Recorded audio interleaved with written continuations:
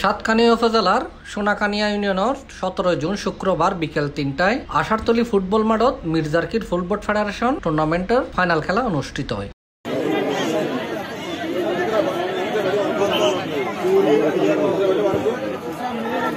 খেলাত মুখোমুখি প্রতিদ্বন্দ্বিতা করে মির্জারকিল ফুটবল একাদশ বনাম ছোটো হাতিয়া ফুটবল একাদশ।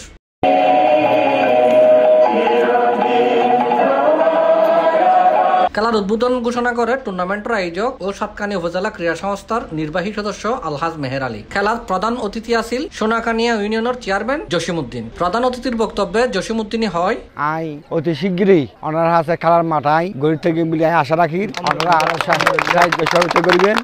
এই হিসাবে আর সম্পূর্ণ প্রস্তুতি রই আমরা আর যারা ইপি সদস্য দুই নম্বর ওয়ার্ডের সদস্য আর তিন নম্বর ওয়ার্ডের সদস্য ইপি সদস্য সবাইকে নিয়ে সোনার খান্ডে নিয়ে অতি শীঘ্রই আই খেলার মাঠ। আয় ওনার হাতে উপহার দিতে মিলে আশা রাখি। খেলার বিশেষ অতিথি আছিল সোনাকানিয়া ইউনিয়ন আওয়ামী লীগের সাংগঠনিক সম্পাদক জাহাঙ্গীর আলম সোনাকানিয়া ইউনিয়ন আওয়ামী লীগের বিজ্ঞান ও প্রযুক্তি বিষয়ক সম্পাদক তাইফুর রহমান সহ আরও বোধ কি হয় আসলে হত হইলে গ্রামর যে আর আর যুব সমাজ সকল আছে ইভেনে বিভিন্ন সময় বিপদগ্রস্ত হয়ে গই, বিভিন্ন সময় খেলাধুলা তো দূরে সরে যার গই বিদায়, আর তো আসলে উদ্যোগ লই এই ফাইনাল খেলাত ট্রাইবাকারত চার তিন গোলে বিজয়ী হয় ছোটো হাতিয়া ফুটবল একাদশ